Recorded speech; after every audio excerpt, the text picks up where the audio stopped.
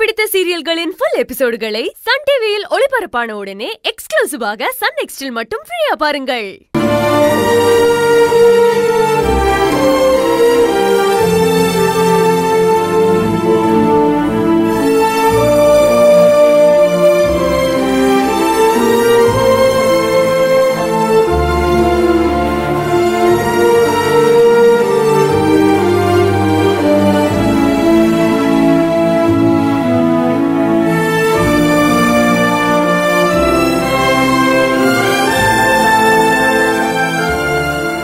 இல்ல கோயில்ல பார்த்தவங்கள உடனே போய் பார்த்தா அங்க ஆள் இல்லைன்னு சொல்ற.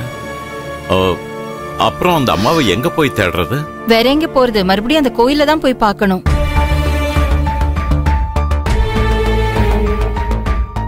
அவ்வளவுதானே ராஜி? திரும்பி அந்த கோயிலுக்கு போவோம். அந்த அம்மாவை பார்த்து என்னன்னு கேட்டுருவோம்.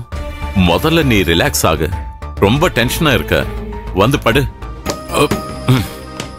என்ன தண்ணி இல்லையே?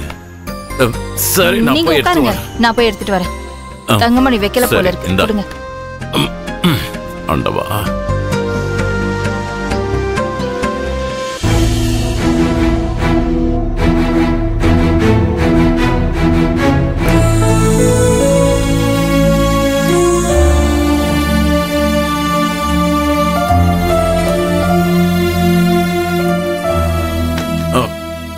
என்ன ராஜி தண்ணி பிடிக்கலையா?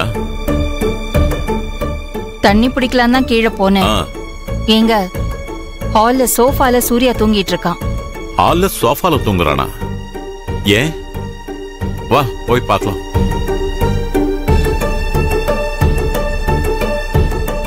அங்க பாருங்க அங்கேயே படுத்து தூங்குறான். என்னாச்சு உனக்கு?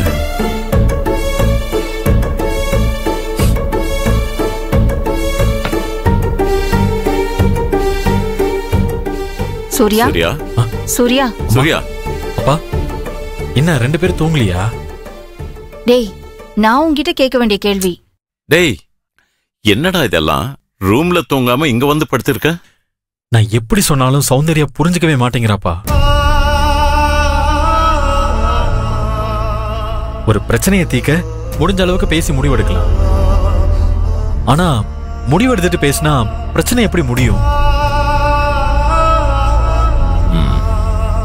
அவ சொன்னதையே தான் சொல்லிட்டு இருக்கா. நான் சொல்றத காதுல வாங்கவே மாட்டேங்கிறா. அம்மா நான் காலையில உங்ககிட்ட சொல்லிட்டு தானே போனேன். என்ன பேசவே விட மாட்டேங்கிறாமா ஆரம்பத்துல இருந்த சௌந்தர்யா இப்ப இல்ல. அவ ரொம்பவே மாறிட்டாமா மனசுக்கு நிம்மதியே இல்ல. என்ன பண்றதுன்னே தெரியல. சூர்யா கஷ்டமா இருக்குடா. ராஜி ஏன் ராஜி இப்படி எல்லாம் ஏன் சௌந்தர்யா இப்படி பண்றா? ரொம்ப நல்லவன் சொல்லிதானே நாம ஆசைப்பட்டு கல்யாணம் பண்ணி வச்சோம்.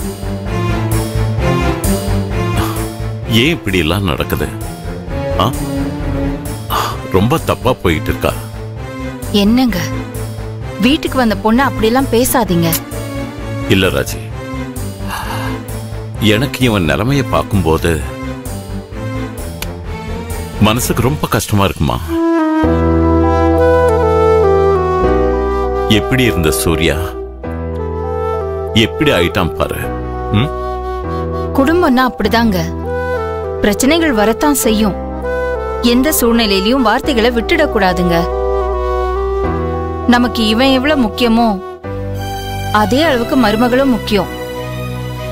சௌந்தர்யா சின்ன பொண்ணு நம்மள பத்தி புரியாம பேசிக்கிட்டு இருக்கா. அதுக்காக நாம அப்படி பேச முடியுமா?